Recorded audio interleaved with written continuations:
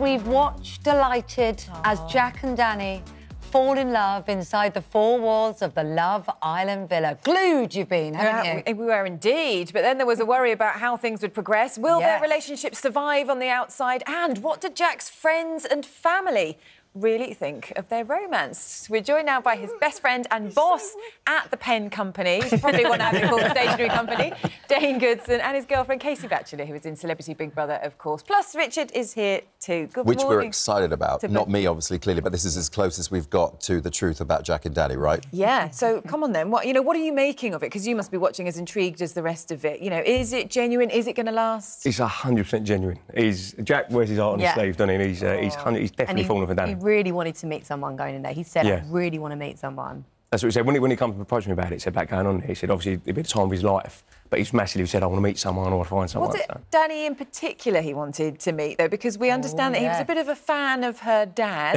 and that might be one reason why he made a beeline for I her. don't think he's. I, Did he know who she was? I don't know. I don't. Oh, don't I mean, think it's a bit of a clue. Danny Dyer. I think he, might- he didn't say it. Wasn't, I, I, so I didn't know she was going there. I don't know if, if you knew. Well, I'm I don't sure. know. It was in the press, but obviously they're in hiding, aren't they? So they. But he did have a poster on his wall, didn't Yeah, he? it was. Of It's Danny not. That right? It's not a massive poster. It was. It was. Uh, what was it? It's it the was only small- business, it's yeah, it was the business. it's it was. not a uh, shrine Yeah, to- it wasn't a Oh, shrine. Yeah, it was, it was only about this big. Because no it- girl wants to be loved because they got a famous dad. No, No, but he don't. It's not. You can it's tell not that because he of his likes dad. it. Yeah, he, he, he's really into Dani, massively. It did nearly get derailed, the great love story last night, Yes. didn't it? Following the lie detector test. So Yes. he did very well on lots of the answers, but when asked if he'd be tempted by other girls outside, um, he said yes, he might be, and Dani was she not was not happy.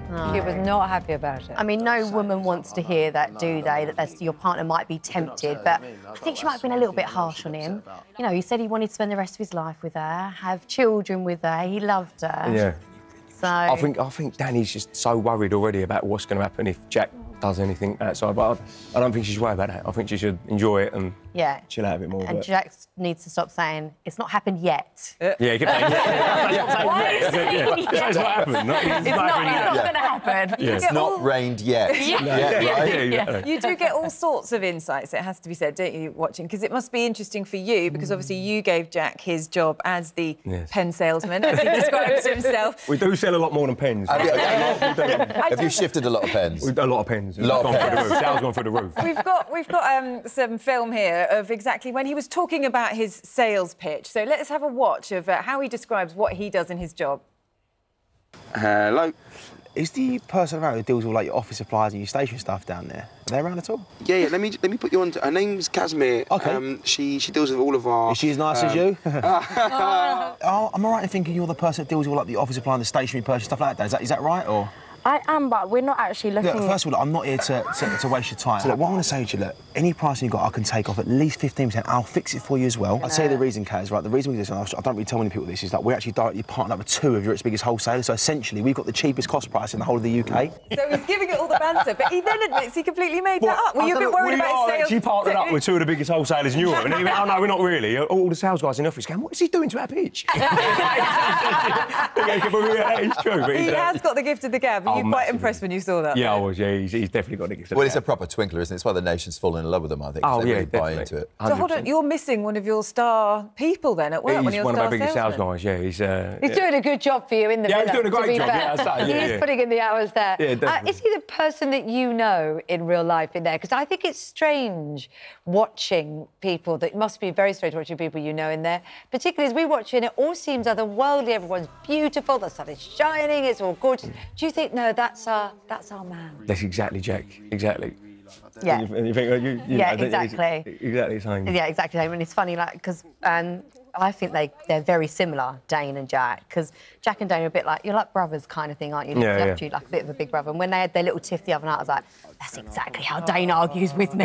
that's exactly the same. So listen, are you, Casey, you kind of, you know, getting hats in mind for a potential wedding at some point. Oh, you never know. You oh. never uh. know. I mean, I'm waiting first, but Let's not talk about it. Would you, would you care to do it now?